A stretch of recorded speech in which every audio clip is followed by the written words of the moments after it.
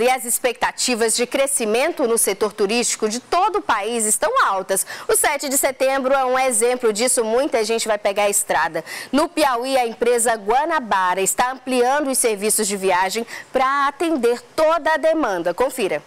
Dados da Confederação Nacional do Comércio de Bens e Turismo aponta para um crescimento de 8% na atividade turística em todo o país para este ano de 2023. A expectativa reflete o avanço a nível global do segmento. Desde o pós-pandemia, a atividade tem sido o principal responsável pelo crescimento econômico, sendo o que mais gera empregos no Brasil. Para acompanhar a estatística, a empresa Guanabara anunciou nesta semana que está ampliando o seu serviço de leito, um dos mais confortáveis da categoria. Nós já operávamos né, um serviço com a categoria 100% leito, que é um ônibus de dois andares, com as poltronas leito em cima e no piso superior embaixo, né, no piso superior e inferior.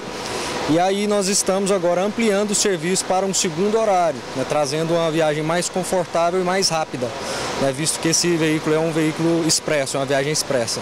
Em período de feriado, aumenta a procura pelos serviços de viagens.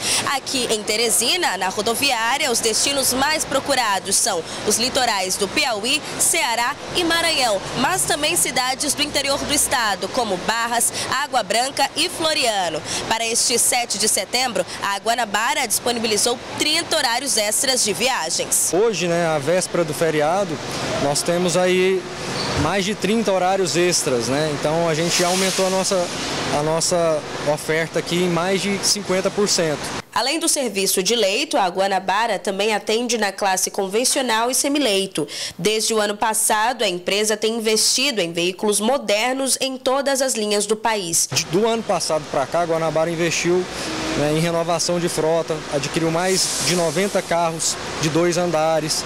Né, então essa essa renovação, essa, esse investimento ele tem sido feito desde o ano passado. Nós também operamos a classe semi-leito e leito, né, que é um, um ônibus de dois pisos, né, sendo o piso inferior com poltronas leito e o piso superior com poltronas semi-leito, que traz também um pouco mais de conforto para os usuários, né, para os passageiros. Esse ônibus ele hoje está atendendo as cidades, né, as capitais de Belém, Fortaleza, São Luís, João Pessoa, Maceió e outras também grandes cidades, né, grandes metrópoles como Marabá, Imperatriz, Sobral, Juazeiro do Norte.